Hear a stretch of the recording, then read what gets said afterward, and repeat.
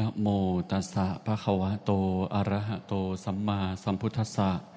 นะโมตัสสะภะคะวะโต อะระหะโต สัมมาสัมพุทธัสสะนะโมตัสสะภะคะวะโต อะระหะโต สัมมาสัมพุทธัสสะ พุทธังธรรมังสังฆังนัมสามิ ขอความนอบน้อมจงมีแด่พระรัตนตรัย น้อมใจกราบถวายความเคารพบารมีธรรมแห่งองค์พ่อแม่ครูบาอาจารย์ กราบขอโอกาสพระมหาเถระ ผู้เป็นประธาน พระเถรานุเถระเพื่อนสาธมิกทุกรูปด้วยความเคารพ ขอความเจริญในธรรมความสงบร่มเย็นแห่งจิตใจ จงบังเกิดมีแด่ผู้ปฏิบัติธรรมทุกคนทุกท่าน ทุกท่านเอามือลงนั่งฟังธรรมตามสบายเนี่ยวันนี้วันอาทิตย์ที่หนึ่งพฤษภาคม พุทธศักราช 2565 พระพุทธเจ้าบำเพ็ญพุทธบารมี ยี่สิบอสงไขยหนึ่งแสนมหากับใช้เวลาหลายล้านชาติ จึงได้มาตรัสรู้เป็นพระพุทธเจ้า ทรงประกาศพระศาสนาอยู่ 45 ปี พระพุทธเจ้าทรงแสดงธรรมออกจากใจ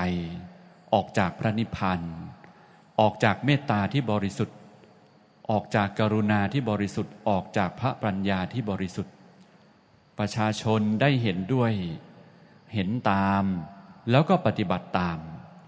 กุลบุตรลูกหลานพากันออกบวช เหลือผู้ที่คอยดูพ่อดูแม่ดูกิจการ ผู้ที่อยู่ทางบ้านก็ตั้งมั่นในพระรัตนตรัย ถือศีลห้า สามารถพัฒนาตัวเองเป็นพระอริยเจ้าได้ ตั้งแต่พระโสดาบันจนถึงพระอนาคามี ผู้ที่ออกบวชเป็นพระภิกษุภิกษุณีก็ ตามพระธรรมคำสอนของพระพุทธเจ้า ก็ได้เป็นพระโสดาบันจนถึงเป็นพระอรหันต์เป็นส่วนใหญ่ เพราะธรรมะของพระพุทธเจ้าเป็นของสะอาดบริสุทธิ์ ถ้าใครได้ประพฤติได้ปฏิบัติ ก็เข้าสู่กระบวนการเข้าสู่กฎแห่งกรรม ที่นำไปสู่มรรคผลพระนิพพาน เพราะคำว่าศาสนานี้ก็หมายถึงธรรมะ ซึ่งเป็นสิ่งที่ปราศจากตัวตน ไม่ใช่นิติบุคคลอย่างนี้ พระพุทธเจ้ารูปเดียว สามารถพาพุทธบริษัทให้ได้บรรลุพระธรรมคำสั่งสอนที่บริสุทธิ์ได้ นับล้านหลายล้าน จนตลอดมาถึงพวกเรา ผู้นำถึงเป็นสิ่งที่สำคัญ ที่พึ่งสูงสุดของเราก็คือพระพุทธเจ้า คือพระธรรม แล้วก็พระอริยสงฆ์ให้ทุกท่านทุกคนเข้าใจ ในวัดของเรา ในครอบครัวของเรา ในบริษัทห้างร้าน หรือในประเทศของเราเนี่ยต้องเอาธรรมเป็นหลักเอาธรรมเป็นใหญ่ ทุกท่านทุกคนก็ต้องพากันมีศีลเสมอกัน ประชาชนก็มีศีลเสมอกัน คือมีศีลห้าเหมือนกัน วันพระวันอุโบสถอย่างนี้ก็มีศีลแปดเสมอกัน เว้นแต่ผู้ที่ป่วยผู้ที่อาพาธผู้ที่แก่เท่าชรา ก็เน้นทางจิตใจ ทุกท่านทุกคนต้องเข้าสู่ระบบอย่างนี้ เพราะพ่อแม่ครูบาอาจารย์ ต้องเป็นตัวอย่างแบบอย่าง ถ้าไม่อย่างนั้นมันไม่ได้ ไม่มีตัวอย่างแบบอย่าง วัดไหนก็ต้องมีครูบาอาจารย์เป็นตัวอย่างแบบอย่าง ครอบครัวไหนๆก็ต้องมีพ่อแม่เป็นตัวอย่างแบบอย่าง โรงเรียนไหนๆก็ต้องมีครูเป็นตัวอย่างแบบอย่าง แต่เพราะว่ามันขาดขั้นตอน ขาดตัวอย่างแบบอย่าง เช่นว่าอยู่ในกลุ่มคนขยันจังหวัดไหน จังหวัดนั้นน่ยจะขยัน เพราะมันเห็นเป็นตัวอย่างแบบอย่างอย่างนี้นะ อย่างคนสุพรรณเนี่ยขยัน คนจังหวัดสุพรรณดูทุ่งนาสุดลูกหูลูกตา หรือว่าไร่อ้อยสุดลูกหูลูกตา พากันทำอย่างนี้แหละไม่มีปัญหา รุ่นเก่ารุ่นโบราณ อย่างคนจังหวัดจันทบุรีก็ขยัน ถ้าใครไม่ขยัน ฐานะมันก็ไม่ทัดเทียมกัน มันต้องมีตัวอย่างแบบอย่างเนี่ยเมื่อพ่อแม่ขยัน พ่อแม่เป็นตัวอย่าง ลูกเดี๋ยวมันก็เป็นไปตาม เพราะว่ามันมาจากพ่อจากแม่ เพราะรถไฟ ถึงจะหลายโบกี้ มันอยู่ที่หัวจัก ความสมัครสมานสามัคคีมันเป็นเรื่องสำคัญมาก ถ้าเป็นร่างกายก็คือร่างกายไม่มีโรคไม่มีภัย ความสมัครสมานสามัคคีอะไรก็ดีพร้อมหมดอะทั้งกายวาจาใจ อวัยวะมันดีหมด ความสมัครสมานสามัคคีนี้เป็นเรื่องใหญ่ คนที่เป็นพ่อเป็นแม่ ไม่มีสิทธิ์ที่จะทะเลาะกับสามี ไม่มีสิทธิ์ที่จะทะเลาะกับภรรยา ความสมัครสมานสามัคคีนี้เป็นเรื่องใหญ่ คนทะเลาะวิวาท แสดงว่ามันเป็นการทำร้ายทั้งตัวเองแล้วก็ผู้อื่น เราพ่อแม่ก็ต้องทำให้ลูกให้หลานเห็น อย่าให้ได้ยินได้ฟังแต่พวกกินเหล้าเมาเบียเล่นการพนนันพวกนี้ ครอบครัวเราต้องวางแผนรายรับรายจ่ายอย่างละเอียด เพราะว่า เราต้องปรับใจให้เข้าหาวัตถุเข้าหาเงิน คือปรับใจให้เท่าขนาดของเงินเนี่ยไม่ใช่ปรับเงินให้เท่าขนาดของใจ มันถึงไม่มีหนี้ไม่มีสิน ดูแล้วทุกคนทุกครอบครัวไม่ได้วางแผนในการใช้เงินใช้สตังค์เนี่ยพระพุทธเจ้าก็ทรงวางแผนไว้ให้หมดนะเราหาเงินได้เท่านี้แล้วก็ส่วนนี้ก็เอาไปทำอย่างนั้น ส่วนนี้เก็บไว้ ต้องวางแผนหมด ไม่มีกินเหล้ากินเบียร์มันต้องรู้รายรับรายจ่าย เราอย่าไปประคับประคองความยากจนไว้นะ อย่าไปประคับประคองหนี้สินไว้ อย่าไปฟุ่มเฟือย ทุกคนต้องเข้าใจให้ดี เราอย่าไปโทษใคร อย่าไปว่าใคร มันอยู่ที่การประพฤติการปฏิบัติของเรา เราต้องไปตามธรรมเป็นปัจจุบันธรรม อย่าให้เรามีหนี้มีสินทางจิตใจ เราเป็นหนี้ทางใจยังไม่พอเนี่ยยังเป็นหนี้ทางภายนอกอีก นั่นเพราะเราตกอยู่ในอบายมุกอบายภูมิ เรายังไม่ตายก็เหมือนตกนรกทั้งเป็นถึงขนาดนี้แล้วพระเจ้าตรัสว่า อินาทานังทุกข้งโลเก ความเป็นหนี้เป็นทุกข์ในโลก กวีเอกสุนทรภู่เนี่ย พระสุนทรโวหาร ท่านได้แต่งบทกรอนสอนใจเรื่องใช้จ่ายเนี่ยท่องกันมาตั้งแต่เด็กเราคงไม่จำหรือถึงจำก็ไม่ยอมนำไปใช้ เราถึงเป็นหนี้กันมากมายไก่กองตามที่เห็นเนี่ยที่บอกว่ามีสลึงพึงบรรจบให้ครบบาทเนี่ยอย่าให้ขาดสิ่งของต้องประสงค์ มีน้อยใช้น้อยค่อยบรรจง อย่าจ่ายลงให้มากจะยากนาน ไม่ควรซื้อก็อย่าไปพิไรซื้อ ให้เป็นมื้อเป็นคราวทั้งข่าวหวาน เมื่อพ่อแม่แก่เท่าชราการ จงเลี้ยงท่านอย่าให้อดระทดใจ หลักการใช้โภคทรัพย์เนี่ยพระสัมมาสัมพุทธเจ้า สอนลูกศิษย์คารวาสคนสำคัญของท่าน นั่นก็คือท่านอนาถบินิกะเศรษฐี ท่านเป็นโสดาบันตั้งแต่แรกพบกับพระพุทธเจ้า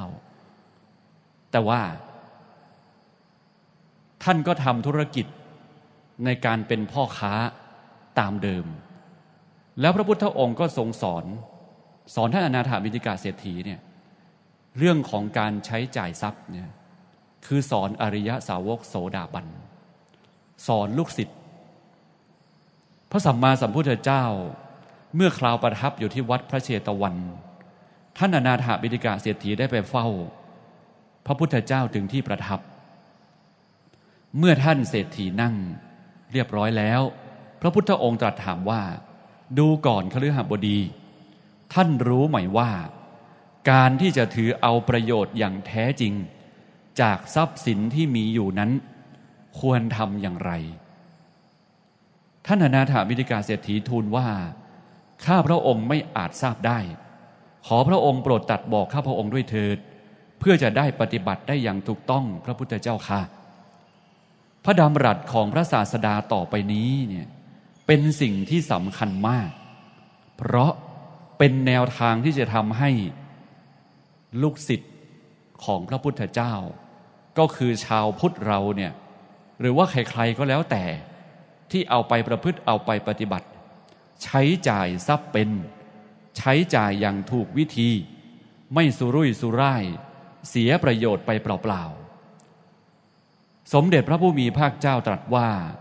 ดูก่อนคฤหบดี ประโยชน์ที่เราจะถือเอาได้จากพกทรัพย์สมบัติที่เรามีอยู่นั้น มีอยู่ห้าประการ บุคคลใดทำได้ทั้งห้าประการนี้ เท่ากับว่าได้รับประโยชน์อย่างสมบูรณ์ทีเดียว แล้วพระองค์ก็ตรัสต่อไปว่า ประโยชน์ห้าประการ ที่ตถาคตกล่าวถึงนั้น คือ อริยสาวกในธรรมวินัยนี้ หรือว่าชาวพุทธก็ได้ พุทธศาสนิกชนก็ได้ ย่อมใช้จ่ายพกทรัพย์ที่ตนหามาได้ ด้วยความยากลำบาก สะสมมาด้วยกำลังเรี่ยวแรง อาบเหงื่อต่างน้ำทำงานหนัก ได้มาโดยชอบธรรม ย่อมใช้ทรัพย์เหล่านั้นเลี้ยงตนเองให้เป็นสุข ให้อิ่มหนำสำราญ เลี้ยงบุตรภรรยา ทาสกรรมกร คนรับใช้ให้เป็นสุข นี้เป็นประโยชน์ที่จะถือเอาได้จากพกทรัพย์ ข้อที่หนึ่งข้อต่อไปพระองค์ตรัสว่าดูก่อนกระหับบดี นอกจากจะเลี้ยงตนเองและบุตรภรรยาทาสกรรมกรคนรับใช้ให้เป็นสุขแล้ว ย่อมใช้จ่ายพกทรัพย์ทั้งหลายที่หามาได้ ด้วยความเหนื่อยยากลำบากสะสมมาด้วยกำลังแขน อาบเหงื่อต่างน้ำแสวงหามาได้โดยชอบธรรมเนี่ยเลี้ยงมิตรสาหายให้เป็นสุข ให้อิ่มหนำบริหารให้เป็นสุขสำราญ นี้เป็นประโยชน์ที่จะพึงถือเอาจากพกทรัพย์ข้อที่สองนี่คือว่า เวลาเพื่อน ต้อนรับเพื่อน เลี้ยงเพื่อน เลี้ยงเพื่อนในที่นี้ไม่ใช่เลี้ยงเหล้าเลี้ยงเหล้าเลี้ยงบุหรี่ไม่ถืออยู่ในข้อนี้ เพราะพระพุทธองค์ไม่เคยสอน เลี้ยงในที่นี้ก็คือ เลี้ยงด้วยอาหาร อะไรก็แล้วแต่ที่เป็นข้าวของเครื่องใช้เนี่ยสงเคราะห์ตามสมควร ต่อไปข้อที่สามพระองค์ตรัสว่าคฤหบดีอีกประการหนึ่ง อริยสาวกในธรรมวินัยนี้ นอกจากจะถือเอาประโยชน์จากทรัพย์ คือใช้จ่ายทรัพย์ให้เกิดประโยชน์ทั้งสองประการข้างต้นแล้ว ย่อมใช้ทรัพย์ที่ตนเองหามาได้โดยชอบธรรมได้มาโดยธรรมเนี่ยป้องกันอันตรายที่จะเกิดจากไฟ จากน้ำจากพระราชา จากโจร หรือว่าจากทายาทผู้ไม่เป็นที่รัก ก็คือศัตรูห้านั่นเอง ป้องกันอันตรายที่จะเกิดจากศัตรูทั้งห้าก็คือ อักคีภัย ภัยจากไฟนะอุทกภัยไฟจากน้ำภัยจากพระราชาจะริบทรัพย์สมบัติ ภัยจากโจรผู้ร้ายจะมาลักขโมย แล้วก็ภัยจากทายาทลูก ผู้ไม่เป็นที่รักที่ไม่อยู่ในศีลอยู่ในธรรมเนี่ยเป็นลูกเกเรเป็นลูกอักตันยูป้องกันอันตรายที่จะเกิดขึ้นจากศัตรูทั้งห้านี้ ทำตนให้สวัสดี มีความสุขปลอดภัย นี้เป็นประโยชน์ที่จะพึงถือเอาจากทรัพย์ ใช้จ่ายทรัพย์ให้เป็นประโยชน์ข้อที่สามแล้วก็ข้อที่สี่อีกประการหนึ่ง เมื่อทำทั้งสามข้อนั้นแล้ว ย่อมถือเอาประโยชน์จากทรัพย์ด้วยการทำพรีกรรมห้าอย่างคำว่าพรี พรีเนี่ยพอพาลอลิงสละอี พรี พรีตรงนี้แปลว่า เสียสละก็ได้ ให้ก็ได้บำรุงก็ได้ทำพรีกรรมห้าอย่างเนี่ยญาติพรีคือบำรุงญาตินะสงเคราะห์ญาติ เวลาญาติของเราตกระกรรมลำบาก ยากจนเข็นใจเนี่ยต้องอดอยากเนี่ยเราก็ช่วยเหลือตามกำลัง สองอติธิพรีต้อนรับแขก อาคันตุกะ ต้อนรับอย่างดีสามปุพพะเปตพรี คือทำบุญอุทิศให้กับผู้ที่ล่วงลับไปแล้ว เราไม่รู้ว่าบุคคลเหล่านั้นไปเกิดที่ไหน ต้องอดอยากหรือไม่ เพราะเราเอาแน่เอานอนไม่ได้ เพราะว่ากรรมของแต่ละบุคคลบุคคลเนี่ยไม่ใช่ว่าจะไปสู่สุคติทุกคนเนี่ยเพราะ คนไปสู่สุคติมีน้อยมาก เพราะตอนที่เป็นคนเป็นมนุษย์อยู่มักจะประมาท หลงเพลิดเพลิน คิดแต่ว่าตัวเองจะมีอายุเป็นร้อยปีเนี่ยใช้ชีวิตศูนย์เปล่าด้วยความประมาทมาก ตรงนี้พระองค์บอกว่า อันทะภูโตอยังโลโกตนุเกตถาวิปัสสติ สกุโนชาลมุโตวัสอโปสักคายคชติเนี่ยสัตว์โลกเป็นผู้มืด มืดบอดในที่นี้หมายความว่า ตาปัญญาไม่เปิดนะตาเนื้อทำงานตามปกติมองเห็นนู่นนี่นั่น แต่ว่าตาในไม่เคยเปิดออกมา รับรู้ความเป็นจริงเลย โดยเฉพาะปัญญาจักสุไม่มี จึงเป็นเหมือนกับคนที่อันทะอันทะคือมืดคือบอด ตนุเกตถะวิปัสสติ น้อยคนนักจะเห็นแจ้งตามความเป็นจริง วิปัสสติใช้คำเดียวกับคำว่าวิปัสนา น้อยคนที่จะเห็นแจ้ง อริยสัจสี่แล้วก็น้อยคนที่จะไปสู่สวรรค์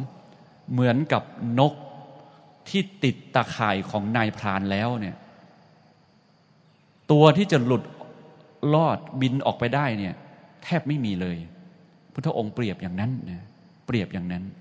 เพราะนั้นญาติญาติเราเนี่ยถ้าหากไม่มีศีลไม่มีธรรม ส่วนใหญ่นะไปทุกขติหมดแหละ ไม่มีใครไปดี เป็นเปรตบ้าง นรกบ้าง อสุรกายสัตว์เดรัจฉานบ้าง เราก็อุทิศบุญส่งบุญให้กับผู้ที่ล่วงลับ ตามสมควรนะมันทำเวลาเราทำบุญทุกครั้งเราก็อุทิศบุญให้ ไม่ว่าจะเป็นบุญจากการให้ทาน บุญจากการที่เรารักษาศีลอย่างดี บุญจากการที่เราได้ทำสมาธิปฏิบัติธรรม ซึ่งเป็นบุญที่มากกว่าการให้ทานเนี่ยเราก็อุทิศบุญส่งบุญให้กับ เหล่าญาติผู้ล่วงลับ เพราะคนหลงเนี่ยมีมาก มิจฉาทิฏฐิบุคคลเนี่ยมีมาก แล้วก็แบ่งส่วนหนึ่งมาเพื่อที่จะทำบุญอุทิศให้กับผู้ที่ล่วงลับนะต่อไปประการที่สี่ก็คือราชพรี บริจาคทรัพย์เพื่อส่วนรวม ปัจจุบันก็คือการเสียภาษีอากรสำหรับผู้ที่เสียสละมากขึ้น มีจิตใจเป็นผู้ให้เนี่ย แบ่งในการสร้างโรงพยาบาลสร้างโรงเรียนสร้างสาธารณะประโยชน์ตามสมควรแก่กำลัง แล้วก็ข้อสุดท้าย เทวตาพรีทำบุญอุทิศให้เทวดา นี้เป็นประโยชน์ที่จะพึงถือเอาจากทรัพย์ข้อที่สี่ข้อสุดท้ายเนี่ยเทวตาพรีพุทธองค์ทรงสอนสอนอย่างจากสัพพัญยุตยานเนี่ย แต่ว่าพิธีกรรมปัจจุบันที่คนไทยตกทอดมาจากพิธีพราหมณ์ บวงสวง เส้นไหว้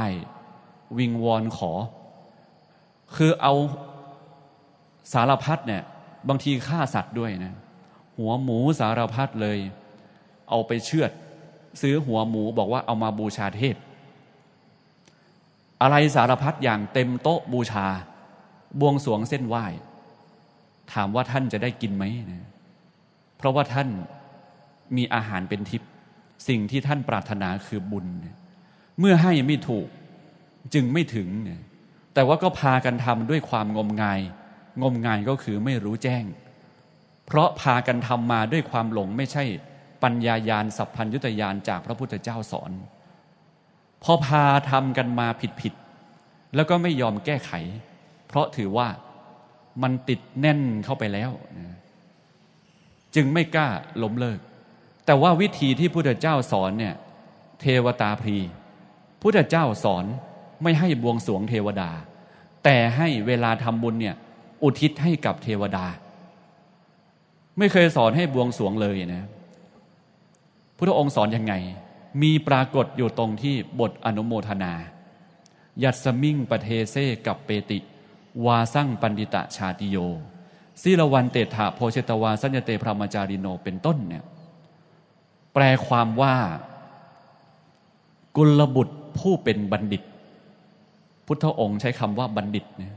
บัณฑิตก็คือแปลว่าผู้ฉลาด ฉลาดในการทำฉลาดในการทำบุญเนี่ยไม่ได้ทำด้วยความงมงายทำด้วยความโง่ แล้วก็หลงไหลอยู่อย่างนั้น กุลบุตรผู้เป็นบัณฑิต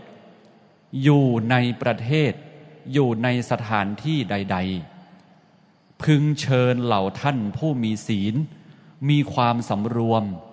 และประพฤติพรหมจรรย์ มาเลี้ยงดู ในสถานที่นั้น เลี้ยงดูก็คือ นิมนต์มาฉันอาหารในที่นั้น และควรอุทิศผลบุญกุศล อันเกิดจากการบำเพ็ญทาน ศีล และภาวนา ให้แก่เทวดาทั้งหลายที่อยู่ในที่นั้น ๆด้วย เทวดาเหล่านั้น เมื่อกุลบุตรบูชาแล้ว ก็ย่อมจะบูชาตอบ เมื่อกุลบุตรนับถือแล้ว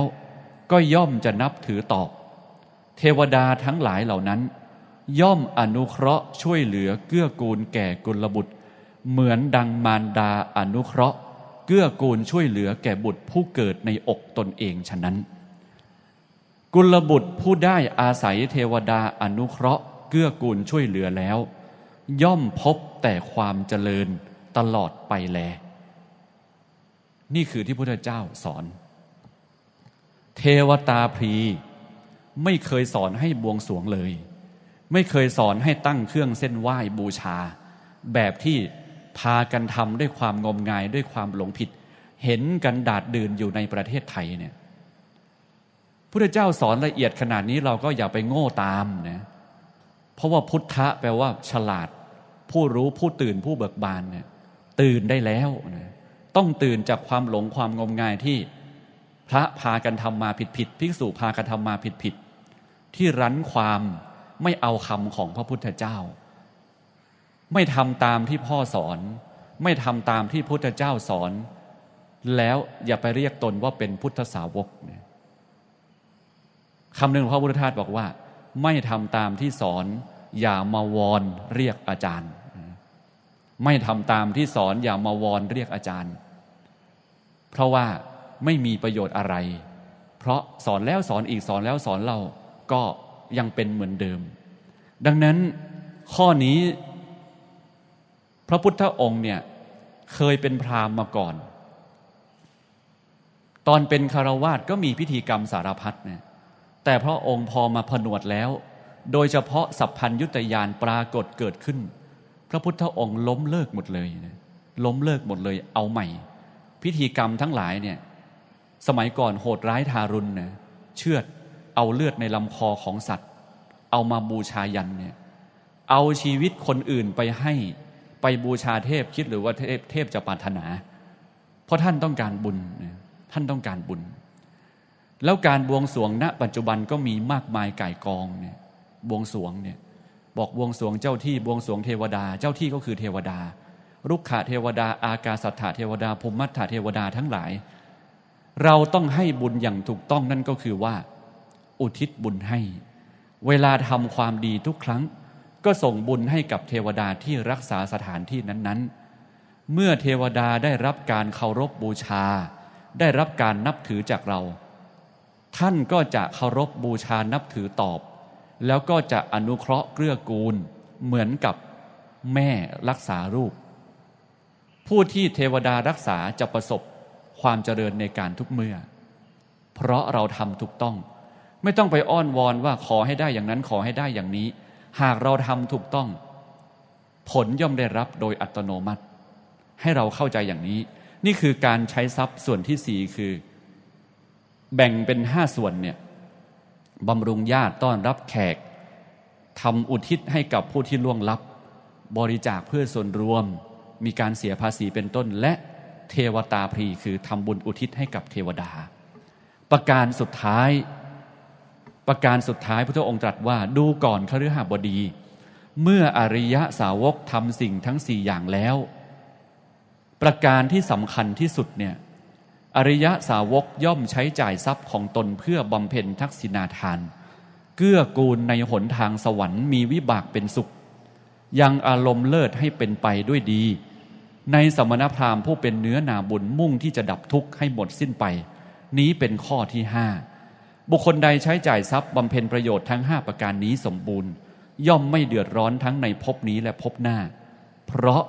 ตนเองได้ถือเอาประโยชน์ จากโภคทรัพย์อย่างแท้จริง คือรู้จักรายจ่าย แบ่งสรรปันส่วนในการใช้เงินได้อย่าง เต็มที่ได้อย่างเป็นประโยชน์ที่สุด ท่านอนาถาบิดิกาเศรษฐีได้ฟังพระพุทธดำรัสนี้ รู้สึกปิติเบิกบาน ในการกระทำของตนเป็นอย่างยิ่ง เพราะท่านบำเพ็ญได้อย่างสมบูรณ์ทุกข้อ ยิ่งข้อสุดท้ายเนี่ยท่านเป็นอริยะสาวกเนี่ยท่านให้ท่านเสียสละเนี่ยทุกวันเนี่ยท่านจะนิมนต์พระมาฉันในบ้าน หน้าบ้านท่านก็ตั้งโรงทาน แจกจ่ายก้อนข้าว แจกจ่ายอาหารให้กับคนอนาถายากจนเข็นใจ เพราะนั้น ชาวเมืองก็เลยขนานนามท่านว่า อนาถบินดิกะเศรษฐี เศรษฐีผู้ที่มีข้าวน้ำอาหาร เพื่อคนอนาถาไม่มีที่พึ่ง ชื่อเดิมของท่านคือสุทัตตะนะแต่ด้วยความดีที่ท่านทำเนี่ยตั้งโรงทานให้คนอื่นทุกวันเนี่ยชาวเมืองจึงขนานนามท่านใหม่ว่าอนาถบินทิกะเศรษฐี ผู้ที่มีอาหารเพื่อคนยาก ลำบาก เพราะความที่ท่านมีเป็นโสดาบันอยู่ข้างในเนี่ยมีความเป็นผู้ให้เป็นผู้เสียสละตลอดเวลา เพราะท่านไม่ยึด เพราะท่านไม่หลงในสมบัติพระสถานเนี่ยท่านใช้สอยบริโภคอะไร ท่านก็ไม่ยึดไม่ติดไม่หลงอยู่ในของของนั้น เพราะท่านอยู่ในทางสายกลางแบบที่หลวงพ่อพูดประจำว่า พัฒนาวัตถุเทคโนโลยีแล้วก็พัฒนาใจไปพร้อม ๆ กัน บริโภค วัตถุสิ่งของแล้ว ไม่หลงไหลเนี่ยคือสายกลาง เพราะท่านเหล่านี้ท่านทำไว้ให้ดูเป็นตัวอย่างแล้ว จากเรื่องนี้จะเห็นได้ว่า พระบรมศาสดาของเรานั้น ได้สอนแนวทางในการใช้ประโยชน์จากทรัพย์ที่มีอยู่อย่างชัดเจน ทั้งประโยชน์ตนและประโยชน์ผู้อื่น ทั้งประโยชน์ในภพนี้ และประโยชน์ในภพหน้า ขอให้พวกเราใช้ทรัพย์ให้เป็น ใช้ทรัพย์ให้เกิดประโยชน์อย่างเต็มที่ อย่าตกอยู่ในความประมาท เอาไปใช้จ่ายในอบายมุกกินเหล้ากินเบียร์เจ้าชู้เล่นการพนัน เที่ยวกลางคืนคบคนพานเป็นมิตรพวกนี้เลิกเนี่ยอย่าไปใจอ่อน อย่าไปคิดแต่ว่า เดี๋ยวค่อยทำเดี๋ยวค่อยทำเดี๋ยวค่อยทำเนี่ยพอมันตายแล้วมันทำไม่ได้ ยิ่งสมาทานเลิกได้ไวเท่าไหร่เนี่ยกุศลความดีก็ยิ่งจะเกิดไวเท่านั้น เพราะมันเป็นทางแห่งความเสื่อมเป็นทางแห่งความยากจน เป็นทางแห่งความเป็นหนี้เป็นสินเนี่ยยาเสพติดกินเหล้าเมาเมายา กินเหล้าเมาเบีย เมาเมีย เจ้าชู้ เล่นการพนนันเที่ยวกลางคืนพวกนี้มันเสียไปหมดนะเราจึงต้องใช้ให้เกิดประโยชน์อย่างเต็มที่ อย่าตกอยู่ในความประมาท หากปรารถนาเนี่ยจะสร้างหนทาง แห่งสวรรค์สมบัติและนิพพานสมบัติแล้ว จงอย่าตรณีเพราะการเป็นผู้เสียสละเป็นประโยชน์อย่างยิ่งต่อเรา ตลอดจนมวลมนุษยชาติด้วย เราจึงต้องวางแผนรายรับรายจ่าย การใช้สอยการบริโภค ความสุขความดับทุกข์ไม่ใช่เราจะมีเงินเป็นแสนแสนล้าน หมื่นล้านนะ มันอยู่ที่เรามีความเห็นถูกต้องเข้าใจถูกต้องในปัจจุบัน ซึ่งมันเป็นอริยทรัพย์ภายใน เพราะใจของเราไม่หลง ความสุขมันจะมีอยู่ที่ปัจจุบัน เพราะเราทานข้าว ทานอาหารได้ที่ปัจจุบันเท่านั้นนะของอร่อยมันก็เป็นเพียงยาเฉยๆยารักษาโรคเฉยๆเราก็ต้องเสียสละเราก็ต้องพัฒนาอย่างนี้ ครอบครัวเราจึงต้องมาวางแผนรายรับรายจ่ายอย่างละเอียด เพราะพระพุทธเจ้าทรงวางแผนไว้ให้หมด เราหาเงินได้เท่านี้ ส่วนนี้ก็เอาไปทำอย่างนั้น ส่วนนี้เก็บไว้ต้องวางแผนหมดเนี่ยเราต้องประคับประคองไปได้อย่างนี้ ในประเทศไทยเราเนี่ยไม่มีการวางแผนในการใช้เงิน มีแต่การวางแผนที่จะไปยืมเงิน ยืมสตังค์ไปกู้ค้ำประกัน แล้วก็มีปัญหาเป็นแถว อยู่ในครอบครัวเรามันก็มีทั้งคนเก่งคนฉลาด คนไม่เก่งคนไม่ฉลาดอย่างนี้แหละ เราก็อยู่กันด้วยความสมัครสมานสามัคคี ถ้าคนไม่เก่งไม่ฉลาดแต่ว่าความประพฤติดี ใจมันดี สมองมันค่อยพัฒนาไป เราต้องจัดระบบในครอบครัวเราเนี่ยระบบเงินในครอบครัวเรา สามีภรรยาก็ต้องคุยกันว่าเราจะทำอย่างนี้อย่างนี้ ทุกคนอย่าไปเอาแต่ใจตัวเอง ต้องคิดให้เป็นวางแผนให้เป็น เราจะได้รู้จักศาสนานะ ที่จะพัฒนาใจของเรา พัฒนาครอบครัวของเรา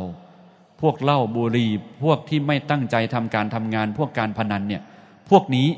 ต้องสมาทานเลิกหมด คนเราต้องใจเข้มแข็ง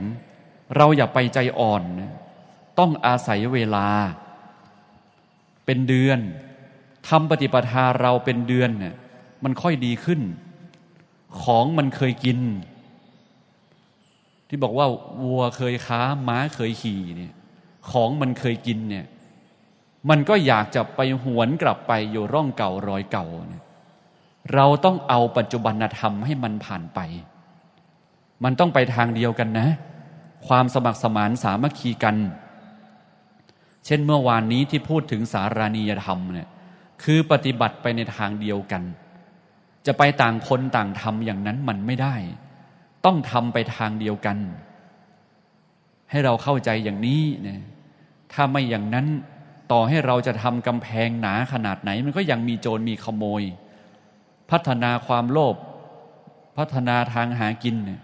มันไม่ใช่สิบแปดมงกุฎนะมันหลายมงกุฎหลายสิบเป็นร้อยมงกุฎมากกว่านั้น เพราะว่าคนมันไม่มีศีลไม่มีธรรม เราอย่าพากันไปซิกแซกไปไหนเนี่ยถึงยังไงก็ไปไม่รอดหรอก ทุกคนอย่าไปพึ่งคนอื่น ต้องพึ่งตัวเอง พึ่งปฏิปทาของตัวเอง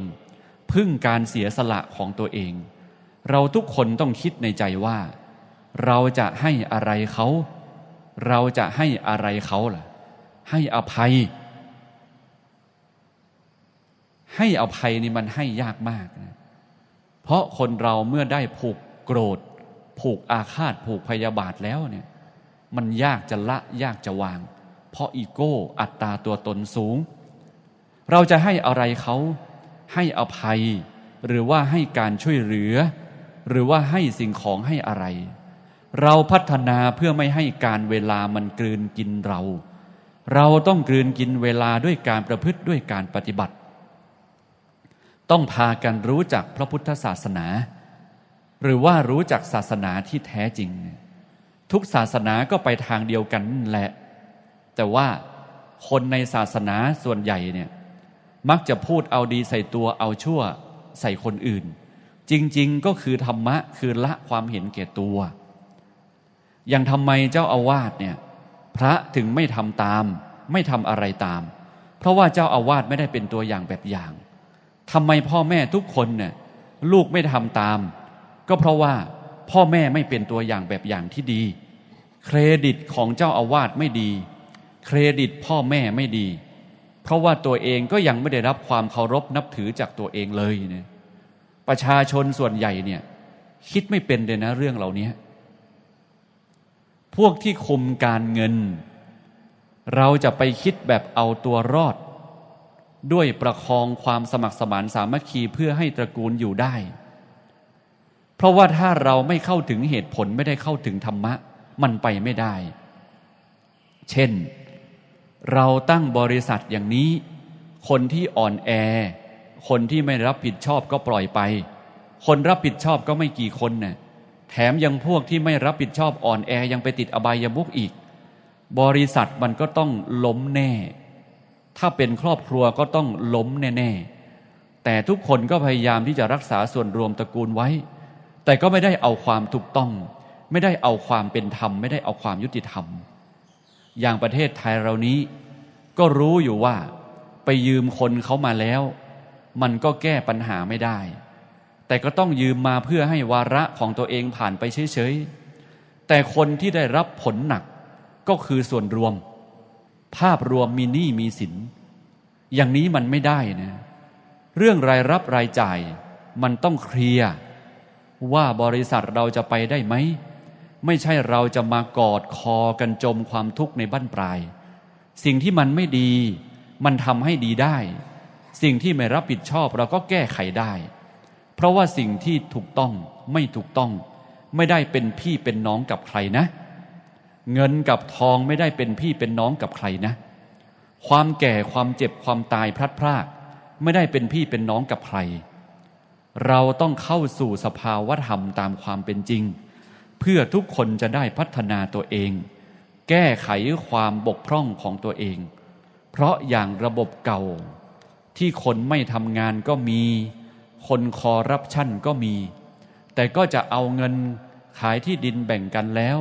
ก็จะเอาส่วนหนึ่งเป็นส่วนกลางเพื่อที่จะประคองตระกูลไป อย่างนี้มันไม่ได้ การทำมาหากินเนี่ยของคนรุ่นเก่ากับรุ่นใหม่มันก็ไม่เหมือนแต่ก่อน ทุกคนต้องแก้ไขตัวเอง ไม่รับผิดชอบก็ต้องรับผิดชอบ กินเหล้าเมาเบียก็ต้องหยุด สูบบุหรี่ก็ต้องหยุด เล่นการพนันก็ต้องหยุด ทีนี้มาเอาเงินเอาสตังก็ต้องหยุดไปพวกนี้ อย่างครอบครัวหนึ่งล้ม เพราะลูกสาวคนโตมันหาเงินเก่งรวยเก่ง แล้วน้องติดยาสองคนเนี่ย มันติดยามาหาหลวงพ่อว่าจะทำอย่างไร หลวงพ่อบอกว่าก็ต้องรักษาศีลก่อน มันถึงให้คนละล้าน โอ้ทำอย่างนี้เนี่ย เจ๋งทุกคนเลย แต่เขาบอกว่าเขาทำใจไม่ได้ เขาจะให้เขารวยคนเดียวแล้วก็น้องทุกยากลำบาก มันก็ต้องแก้ที่จิตที่ใจ แก้ที่ความประพฤติก่อนเนี่ยเขาก็ทำไปสองสามปีสี่ปีห้าปี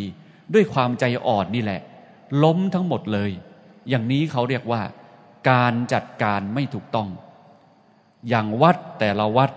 มันไปไม่ได้ ก็เพราะว่าเราจะให้วัดเนี่ย มันอยู่ได้เพื่อที่จะรักษากุฏิเฉยๆ รักษาโบสถ์วิหารเจดีย์เฉยๆ แต่ว่าไม่เอาธรรมไม่เอาพระวินัย มันก็ต้องเป็นเหมือนที่เป็นอยู่อย่างเนี้ย มันก็ไม่มีศักยภาพ ไม่มีคุณภาพ แทนที่มันจะพัฒนาให้มีประโยชน์ มันก็ไม่มีประโยชน์อะไร ให้ทุกคนต้องมีความเห็นถูกต้องในทางที่ดี คนที่ไม่มีคุณภาพ มันจะได้มีคุณภาพ เพราะว่าใครปฏิบัติตามพระธรรมคำสอนของพระพุทธเจ้า ไม่กี่ปีมันก็มีคุณภาพ อย่างคนบ้านนอกบ้านนา ไม่มีการเรียนการศึกษา ก็เป็นพระอริยเจ้า เป็นพระอรหันต์ได้ ธรรมะที่พระพุทธเจ้าตรัสสอนเนี่ยเป็นสิ่งที่ประเสริฐอยู่แล้ว ถ้า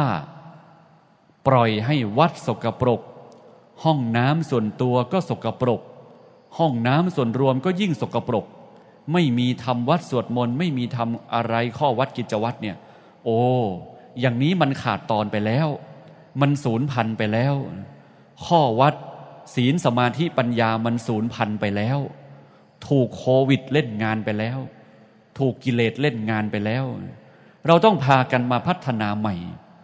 คนรุ่นใหม่สมัยใหม่เนี่ย เพราะว่าเมื่อหลายสิบปีก่อนมันผิดพลาด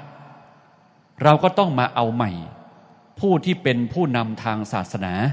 ต้องเสียสละตัวตนนะ เพื่อกตัญญูกะตะเวที ต่อพระพุทธเจ้า เพื่ออนาคตของตัวเอง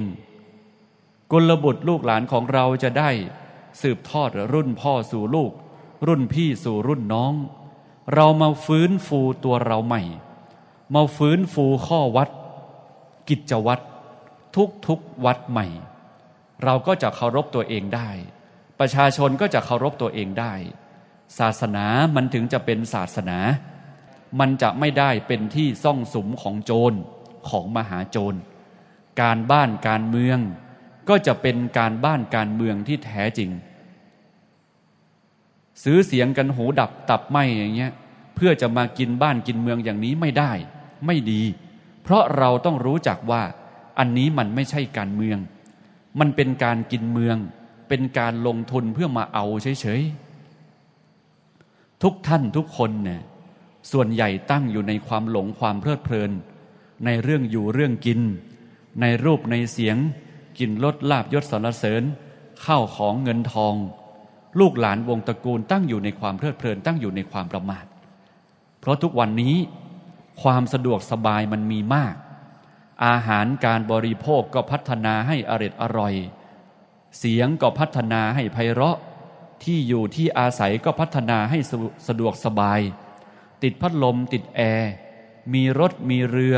มีเครื่องบินมีวิทยุโทรทัศน์ มีโทรศัพท์มือถืออินเทอร์เน็ตเฟซบุ๊กคอมพิวเตอร์ มันเลยเป็นเหตุเป็นปัจจัยให้ตั้งอยู่ในความประมาท ให้ตั้งอยู่ในความเพลิดเพลิน คนเราทุกๆคนน่ะเมื่อเป็นคนแก่แล้ว มันก็ไม่สามารถเอากลับคืนเป็นหนุ่มเป็นสาวได้ เมื่อตายแล้ว มันก็จะเอากลับคืนมาไม่ได้ สิ่งที่เป็นอดีตนั้นย่อมเอาคืนมาไม่ได้ ในปัจจุบันนี้พระพุทธเจ้าให้เราตั้งอยู่ในศีลในธรรม ในคุณธรรม ในการประพฤติการปฏิบัติธรรมอย่างเต็มที่เต็มกำลัง ให้เราเข็นเอาศักยภาพ แห่งความเป็นมนุษย์ของเราออกมาใช้ ออกมาประพฤติปฏิบัติ เราจำเป็นต้องประพฤติต้องปฏิบัติธรรมนะ เอาความเสียสละออกมาใช้ เอาความอดทนออกมาใช้ เอาความขยันรับผิดชอบออกมาใช้ เอาสติเอาปัญญาออกมาใช้ เอาอุเบกขาสมาธิออกมาใช้งาน เพราะเราทุกคนแทบไม่ได้เอาศักยภาพที่ประเสริฐที่เราเกิดมาเป็นมนุษย์ออกมาใช้งานเลย ถือว่าน้อยมากที่เราเอาออกมาใช้เนี่ยเรียกว่าไม่พออยู่พอกินพอใช้ ไม่สมดุลในชีวิต ในการประพฤติปฏิบัติธรรม วันหนึ่งคืนหนึ่งมี 24 ชั่วโมง เวลานอนพักผ่อนเนี่ยหกชั่วโมง เวลาตื่นอยู่ก็ 18 ชั่วโมง พุทธเจ้าให้เราเอาเวลาที่ตื่นอยู่นั้นเนี่ย มาประพฤติมาปฏิบัติธรรม พร้อมกับการทำงานไปพร้อมๆกัน เป็นอันหนึ่งอันเดียวกัน ให้เป็นการทำงานคือการปฏิบัติธรรม การปฏิบัติธรรมคือการทำงานไปพร้อม ๆ กันอย่างนี้ แต่ว่าเวลาพอมาทำจริงเข้าเนี่ยเวลาเราปฏิบัติธรรมนั้นมันน้อยมาก เช่นเราทำวัดเช้าทำวัดเย็น นั่งสมาธิเพียงไม่กี่ชั่วโมง แต่เวลาอื่นเราปล่อยให้เวลามันเสียไปโดยเปล่าประโยชน์ ไม่ได้ประพฤติไม่ได้ปฏิบัติทำเลยตั้ง 18 ชั่วโมงเนี่ยการดำเนินชีวิตของเรามันเลยไม่สมดุลกัน ต้องปฏิบัติทำพร้อมกับการทำงานไปพร้อม ๆ กันเนี่ยเพื่อจะได้มีศักยภาพ ประสิทธิภาพในการดำเนินชีวิต เปรียบเสมือนกับมีดเล่มหนึ่งเนี่ยที่คมอย่างนี้แหละ มันมีทั้งตัวมีดคมมีดแล้วก็ด้ามมีด มันถึงจะใช้งานได้ เพราะเราทุกๆคนเนี่ยไม่ได้เอาศักยภาพแห่งความเป็นมนุษย์ ให้เพียงพอออกมาใช้งาน ไม่ปล่อยเวลาให้เสียไปโดยไม่ได้ประพฤติปฏิบัติธรรมตั้งหลายชั่วโมง การประพฤติการปฏิบัติธรรมของเรา ต้องทำติดต่อกันทั้งวัน เหมือนกับเราหายใจ เราต้องหายใจทั้งวัน ชีวิตของเราถึงจะไม่ตาย ชีวิตถึงจะอยู่ได้ การปฏิบัติธรรมนั้นให้เราเข้าใจนะ เราต้องปฏิบัติทั้งที่บ้านที่ทำงาน เหมือนเราหายใจอยู่นี่แหละ เราอยู่ที่ไหนเราก็ต้องหายใจ เราอยู่ที่ไหนเราก็ต้องปฏิบัติธรรมดูลมหายใจเนี่ยหายใจเข้าสบาย หายใจออกสบายพุทโธ